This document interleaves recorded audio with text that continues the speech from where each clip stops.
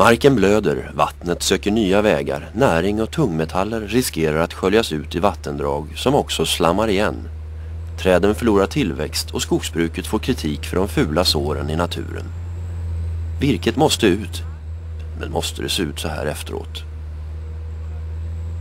Nej, faktum är att om bara skogsbilvägen bär så kommer man för det mesta åt virket utan större markskador. Men då krävs planering och lite smarta tekniska lösningar. Viktiga med markskador det är ju att undvika att köra i vatten framförallt och i blöta partier. Kan man undvika det så, så har man vunnit otroligt mycket. Så där ligger också i en planeringsfråga då att gå över hygget innan och titta vart är de känsliga områdena. Hur kan vi undvika att köra i de här områdena?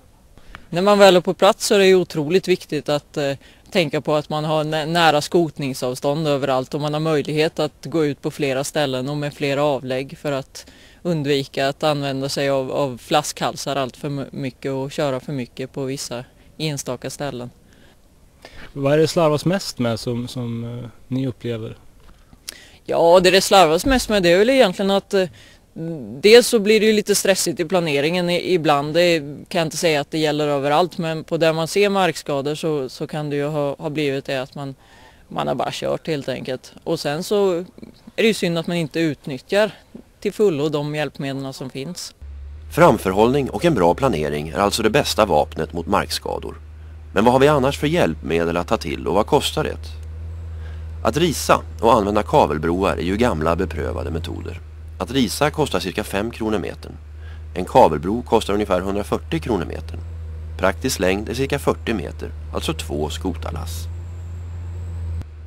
Nu finns också nya miljöband som inte river sönder marken och dessutom sänker skotarens marktryck. De kostar cirka 60 000 per par och tar en halvtimme att kränga på. Så har vi bredare däck. Ett byte från 600 mm till 800 mm halverar spårdjupet. Men kostnaden är förstås mycket högre. Bara ett enda 800-däck kostar 9000 kronor extra. CTI, Central Tire Inflation, är en teknik för att snabbt variera lufttrycket i däcken. Det ger betydligt mindre markskador enligt Skogforsk tester. Idag finns inga färdiga system för CTI, men man kanske kan sänka lufttrycket ändå. Vissa terränger tillåter att man kan köra med något lägre lufttryck än vad man tror är möjligt. Så kan man det, då ökar man markkontaktytan man får däcket att, att ta mer mark, vilket innebär också i, sin, i förlängningen att man får ett minskat rullmotstånd och ett minskat effektbehov. Så det är både bra för bränsleförbrukningen och marken? Då? Ja, det är det. Och lägre lufttryck kan ju också vara bättre ergonomiskt för föraren för maskinen blir ju inte lika hoppig så att säga utan den har, får en flexiblare och följsammare gång. Men om man nu bestämmer sig för att köra med lägre lufttryck, är det något särskilt man ska tänka på då? Ja det är det, man ska hålla koll på sina däck. Man ska gå ut när man har kört klart och titta om det sitter någonting mellan däckfoten och fälgkanten, om det sitter, om det är skitigt i fälgen. Om man ser att det är några speciella skador på själva däcksidan, att man checkar det så att det är ingenting som behöver lagas eller så. Allting för att förhindra att det blir kostsamma stillestånd. Och det här är vi dåliga på i skogsbruket idag alltså? Det är dåligt det är det. Så jag skulle verkligen vilja att man skötte, skötte sin däck, sina däck bättre och skaffade sig en bättre däckekonomi. Det är sämre för mig men jag får också nöjdare kunder så att absolut. Så har vi så kallade markskonare. De klarar en dikesöverfart på drygt 3 meter om du först lägger ett stöd av tvärliggande virke. Man klarar cirka 30 meters dålig bärighet med dem. 4-6 par anses vara tillräckligt för att ett maskinlag ska klara sig i de flesta situationer. De kostar ett par tusen per par och klarar cirka 5000 M3FUB virke innan de är utslitna.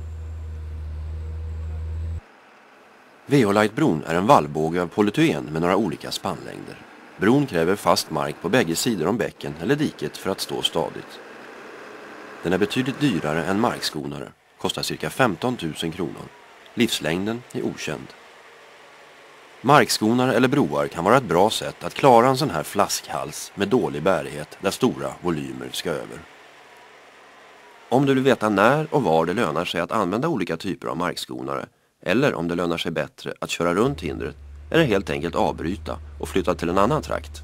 Läs då Skogforsk resultat nummer 4 och nummer 9 2002. Du kan beställa dem på www.skogforsk.se